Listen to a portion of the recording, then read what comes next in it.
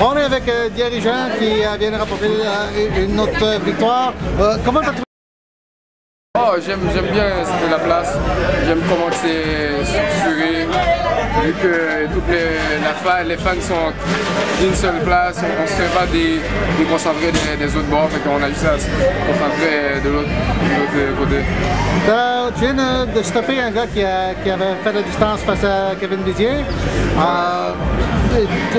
Comment tu trouves ton exploit?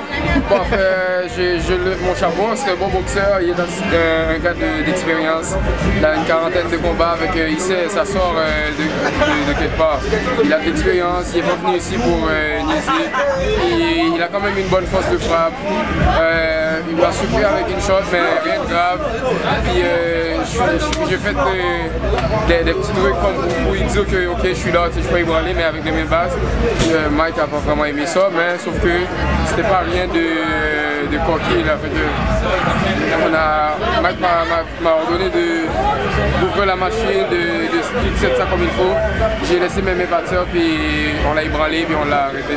Comment Dans la fin du monde, comment ça t'as souhaité qu'il tombe Tu tu avait laissé quand même un assez grand volume de coups? Ouais, exact. Il fallait que je lance plein de coups parce que je l'ai souri avec une belle, une belle main droite. Puis par la suite, il, s'attendait que je rentre dessus. Puis je me suis dit, ok, je vais pas aller en one shot. Ça prend beaucoup d'énergie. Je vais, je vais aller en rafale de coups. Puis il n'a pas pu supporter ça. Puis euh, le a dit euh, que c'était trop. Est-ce que tu es signé pour euh, un combat en décembre ou pas encore? Euh, pas encore. Euh, on attendait, euh, on attendait la, réponse de Groupe Jim pour voir euh, est-ce qu'on va avoir un combat euh, le 18 décembre. Mais on ne sait pas encore. Ok. Bon, on, on souhaite de bonnes nouvelles.